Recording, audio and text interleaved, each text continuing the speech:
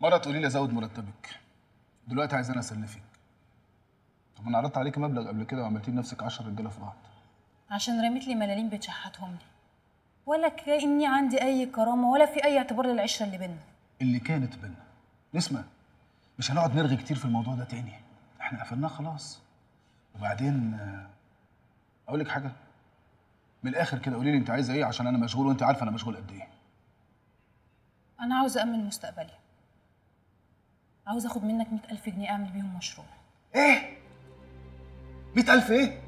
100000 عفريت لما يركبك. أقول لك حاجة؟ ده أنا لو امي ذات نفسها طلبت مني المبلغ ده أنا ممكن اقنع ابويا يطلقها. اسمعيني. يا بنتي انت عارفة أنا داخل على مناقصة دلوقتي. لو رست علينا هتاخد كل فلوسنا اللي في البنك. عارفة ومستعدة استنى لما المناقصة تخلص وبعدين تسلف لي الفلوس. ومستعدة كمان أكتب لك بيهم شيكات على نفسي. نسمع. انسي الموضوع ده. ولا قبل المناقصة ولا بعد المناقصة.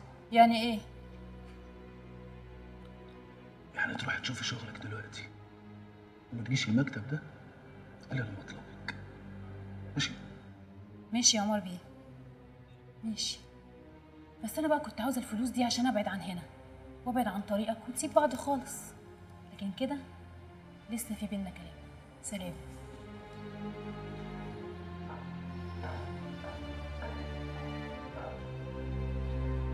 para para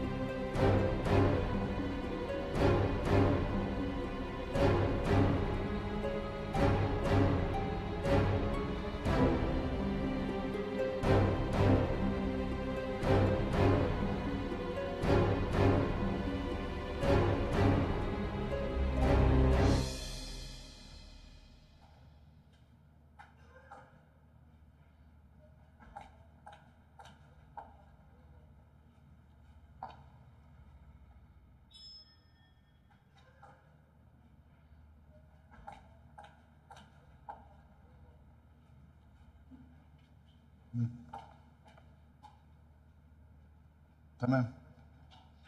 حلو الخبر ده يا ياسر. نفذ يا حبيبي. يلا بالتوفيق. انت وشك قمر عليا على طول كده؟ خير يا حبيبي. حالا اتأكدت ان المناقصه رست علينا.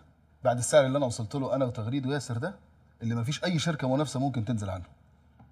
ألف مبروك يا حبيبي. قول لي بقى هتكسب كام؟ أنا مش عايز اسمع كلمة هتكسب دي تاني. اسمها هنكسب كام؟ عشان أنا كل ليك يا حياتي. ربنا يخليك ليا يا حبيبي. الله يخليك. المفروض إن هو نص مليون جنيه. بس لو القمر اللي قاعد جنبي ده قاعد يدعي لي شوية كده يعني ممكن تبقى مليون جنيه. طب لو دعيت من قلبي؟ تاخدي 250 ألف جنيه. إيه ده بس؟ إيه البخل ده؟ خد المناقصة كلها يا حياتي وأنا لأ. ربنا يخليك يا راي أنا كلي أصلا ليكي.